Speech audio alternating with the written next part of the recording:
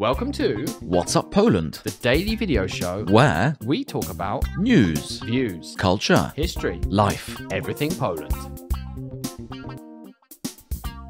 Now you're a bit of a history buff, aren't you, Paddy? I have You been accused of that Do yeah, you do like a bit of World War II history. I do. Um, now, so you'll be interested to hear the English Heritage, which is uh, an English organization uh, which is responsible for um, maintaining Britain's cultural heritage, Mm. has made an appeal um, to the descendants of the Cichociemni. Now, do you know who the Cichociemni are? The silent unseen. Indeed. Do you know who they are?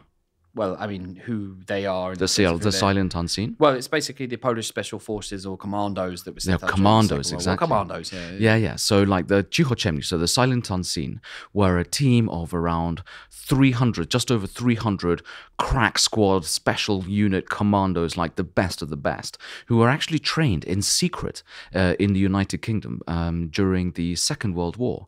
And they, they were parachuted into um, German occupied Poland. Um, out of the 300, I think over 100 uh, were executed and caught by the, the Gestapo or the, the Nazis.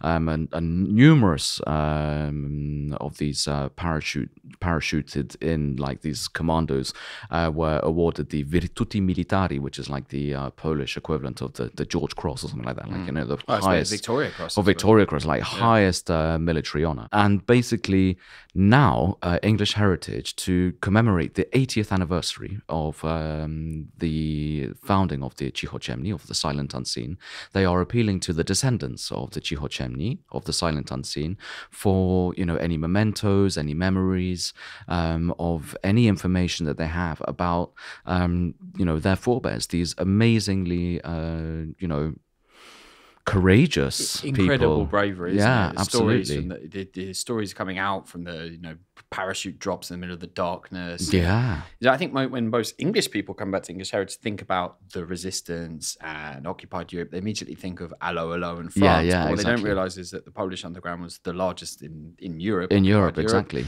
Uh, the most extensive, really, a state within a state, and it's phenomenal. And the Cichociemni were this amazing group of people, men and women, who, Absolutely. who went into this occupied country and linked up and you know helped this entire network. Doing happen. all sorts of covert operations, exactly. Incredible, and I, I guess people might wonder, oh, what's this got to do with England? But of course, it's it's part of English heritage. Absolutely, it is part of English heritage. These people were trained by uh, the British Army at a secret house. Uh, well, house. It's a stately home, right? The house uh, is called Audley End House, um, and it's a beautiful stately home in uh, in Essex, so just outside London.